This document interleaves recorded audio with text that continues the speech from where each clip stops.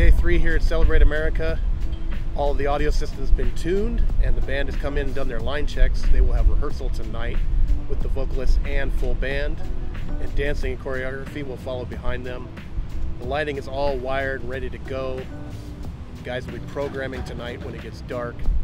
And the video crew is still setting up all the cameras around the park so that everyone in the park can see on the screens and online.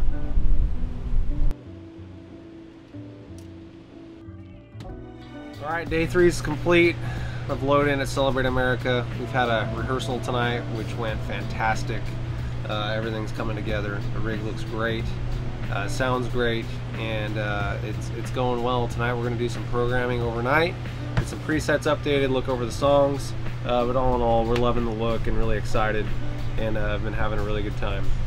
So looking forward to tomorrow. More rehearsals, more tuning things up, but uh, we're getting more and more ready for show.